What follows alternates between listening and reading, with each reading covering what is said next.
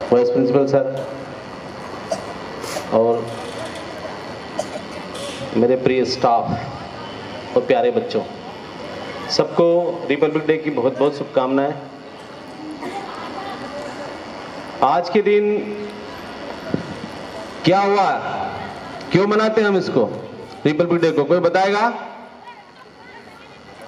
किसको किसको पता है क्यों मनाते हैं? राइज योर हैंड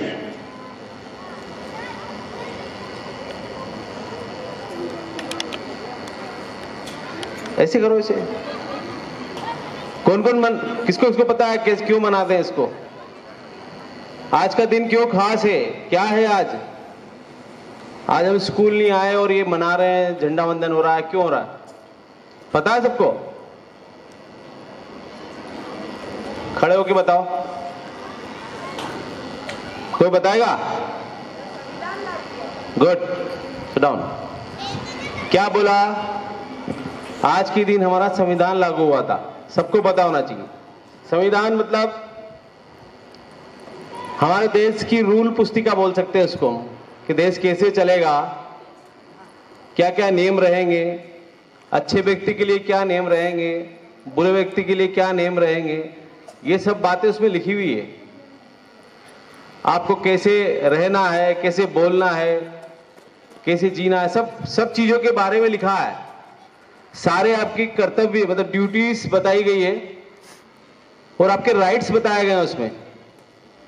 आप लोग जो नाइन्थ के बच्चे हैं, जो टेंथ के बच्चे हैं, वो पढ़ते हैं ड्यूटी ऑफ़ राइट्स संविधान के अंदर कॉन्स्टिट्यूशन के अंदर पढ़ते हैं ना?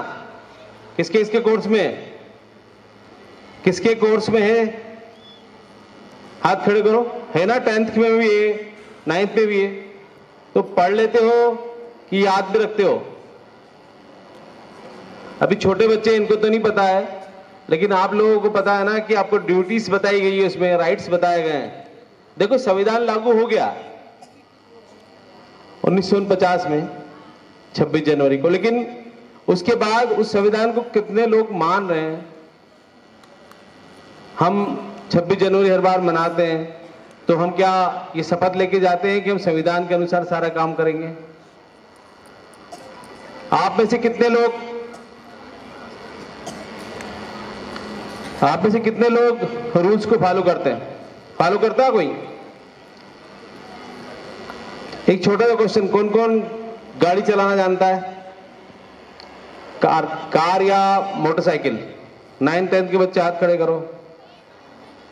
देखो, इतने सारे लोग 26 जनवरी मना रहे हैं और हाथ खड़े रखो हाथ हाथ हाथ हाथ। आप चलाते हो ना सब गाड़ी? क्या लिखा है उसमें संविधान में कि 18 साल से कम उम्र वाले को गाड़ी चलाना मना है? लेकिन आप उस संविधान का उल्लंघन करके गाड़ी चलाते हो, रोड पे भगाते हो। आपके पास लाइसेंस नहीं है। तो संविधान का हर हर जगह हम उल्लंघन करते हैं। हम हमारे राइट्स का उपयोग भी नहीं कर पाते और हमारी ड्यूटीज़ को भी नहीं निभा पाते हम। तो हमारी जो ड्यूटीज़ है, उनको हमको निभाना है। आज के दिन ये प्रण लेना है। धीरे धीरे धीरे हर ड्यूटीज़ को निभाना है। अगर कोई आपको बाइक लेके दे बाइक देता है कि जाओ रोड पे चले जाओ, गाड़ी लेके तो नहीं जाना है। बोलो कि मैं एटीन का आऊँगा जब अठारह का हो जाऊँगा, जब गाड़ी चलाऊँगा। ऐसा नहीं कि अठारह के हो जाओगे तो तुमको गाड़ी चलाना याद नहीं होगी फिर, या सीख नहीं पाओगे। ये रूल्स के खिलाफ है, पता आपको? ऐसे बहुत सारे बहुत सारे नियम है जो उनको हम फॉलो नहीं करते। आप तो बच्चे हो बड़े भी फॉलो नहीं करते। कभी कभी हम शहर के अंदर जाते हैं तो आपके पापा गाड़ी चलाते रहते हो, आप पीछे बैठे रहते हो। कभी कभी रेड बत्ती में पापा गाड़ी निकाल ले जाते हैं। बोले, कोई नहीं है, निकाल लो। कब तक खड़े रहेंगे? ऐसा होता कि नहीं होता? तो आपके पापा ने क्या करा? मोटर व्हीकल एक्ट को तोड़ा। छह महीने की सजा हो सकती है और जुर्माना भी हो सकता है। और इस बीच यदि एक्सीडेंट हो गया उधर से आने वाला आदमी टकरा गया तो? तो ऐसे बहुत सारे रूल्स हैं जो हम रोज तोड़ते हैं। हमारे घर वाले हमारे बड़े भी तोड़ते हैं। तो उनको रोको और टोको उनको। रोकना है। कि नहीं ये गलत है। आप ला, रेड लाल बत्ती पे खड़े रहो। हम पाँच मिनट दो मिनट में कोई फ़र्क नहीं पड़ेगा। लाइन से खड़े रहो। कहीं लाइन लगी हुई है तो उस लाइन को तोड़ के हम आगे निकल जाते हैं। फॉलो करते हैं क्या रूल्स को? अरे हम हर बार 26 जनवरी को संविधान दिवस मनाते हैं, इतना बड़ा संविधान है उसमें। सब लिखा हुआ है। लेकिन मोटी मोटी बातें, आप सिर्फ़ आपकी ड्यूटीज़ पढ़ लो और आपके राइट्स पढ़ लो। आपके लिए इतना काफ़ी है। लेकिन हम क्वेश्चन आंसर की तरह पढ़ लेते हैं और बाद में भूल जाते हैं उनको। उनको आत्मसात करना पड़ेगा हमको। हमारे अंदर उतारना पड़ेगा। और उन रूल्स के हमको मानना है और हमारे पड़ोसी को, हमारे घर वालों को भी मनवाना। क्योंकि सब अच्छा हो गया है, सब बढ़िया हो गया है। हम नौकरी कर रहे हैं। उसके बाद भी कई रूल्स तोड़ रहे हैं तो गलत बात है। हमारे आसपास वाले तोड़ रहे हैं, हम पढ़े लिखे लोग हैं, हम कैसे समझाएँगे ना उनको?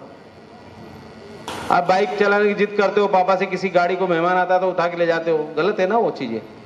तो संविधान के बहुत सारे नियम जो हम तोड़ते हैं। तो आज हम यहाँ से प्रण लेके जाएँगे कि हम सारे रूल्स को फॉलो करें। और आज ही, कल मैं नाइन्थ क्लास और टेंथ क्लास में देखूँगा कि ड्यूटीज़ और राइट्स की एक चार्ट बनी होनी चाहिए सबके पास। ज़्यादा नहीं हो आपको याद होना चाहिए, पूछूँगा मैं आके। ठीक है? आप लोग छोटे बच्चे, आप मैं क्या बोल रहा हूँ, आपको समझ में नहीं आ रहा ना? क्या आ रहा है? किसको किसको आ रहा है? इधर वाले को आ रहा है क्या? नहीं रहा। देखो, मैं आपके लिए भी बता रहा हूँ। अभी हमने क्या करा? थोड़े दिन पहले राम भगवान की स्थापना की। कहा? अयोध्या में। मंदिर बना ना? आपने सबने देखा ना? आपके पापा, मम्मी सब कीर्तन भजन कर रहे थे, झंडे लगा रहे थे और हमने घर पे लाइट लगाई, दिए लगाए। करा कि नहीं करा? कराया नहीं करा? तो जो राम भगवान थे ना, वो पूरे संविधान को मानने वाले थे हमारे भगवान। हर नियम को फॉलो किया उनने, इसलिए उनको मर्यादा पुरुषोत्तम बोलते हैं। आप करते हो क्या छोटे बच्चे? अपने मम्मी पापा को टच फिट करते हो, पैर छूते हो उनके रोज? कौन कौन छूता है। पक्का?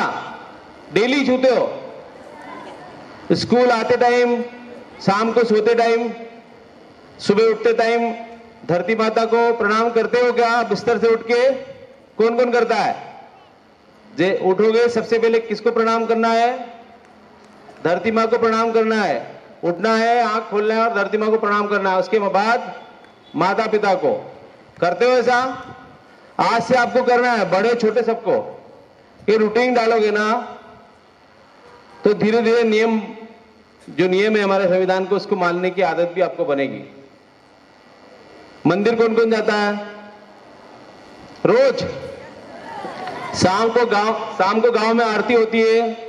उस टाइम मोबाइल कौन कौन चलाता है? हाथ खड़े करो ना, कि उधर आरती घंटी बज रही टन टन, इधर मोबाइल चल रहा है, कोई खाना खा रहा है। ऐसा कौन कौन करता है? आरती होती तो क्या होना चाहिए? आपको मंदिर जाना चाहिए।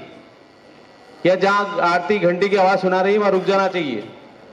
भगवान को प्रणाम करना चाहिए। अपने मोहल्ले के मंदिर में हम रोज जाते हैं क्या? अभी तो सब जा रहे थे हम। जा रहे थे ना अभी? रोज मंदिर जा रहे थे, खूब आरती करी हमने दस पंद्रह दिन।